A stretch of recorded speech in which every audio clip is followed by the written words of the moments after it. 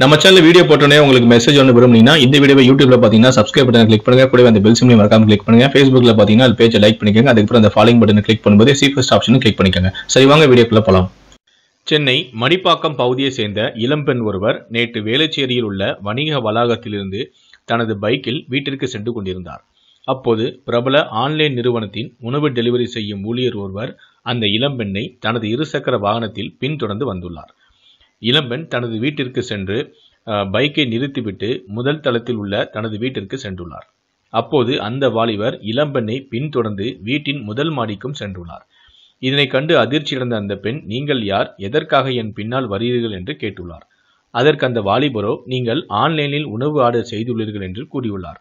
ஆனால் அந்த இளம்பெண்ணோ நான் எந்த உணவையும் ஆர்டர் செய்யவில்லை என்றுள்ளார். பின்னர் அந்த வாலிபர் இளம்பெண்ணிடம் தவறாக நடக்க முயன்றதாக கூறப்படுகிறது.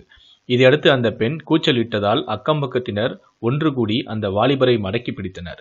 இது தொடர்பாக போலீசாருக்கு தகவலும் தெரிவிக்கப்பட்டது. சம்பவ இடத்திற்கு விரைந்து வந்த போலீசார் பிரசாத் என்பவரை கைது செய்து விசாரணை நடத்தினார்கள். பின்னர் பிரசாத் போலீசாரிடம் அளித்த வாக்குமூலத்தில் நான் வேளச்சேரி வணிக வளாகம் அருகே நின்று கொண்டிருந்தேன். அப்போது அந்த பெண் மிகவும் அழகாக இருந்தாள்.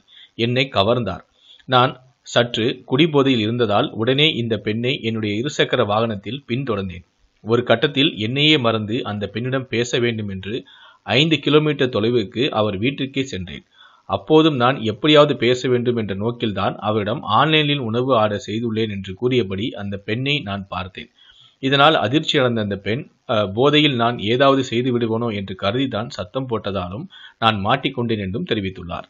இதை பற்றி உங்களுடைய கருத்துக்களை பதிவு பண்ணுங்க. நன்றி.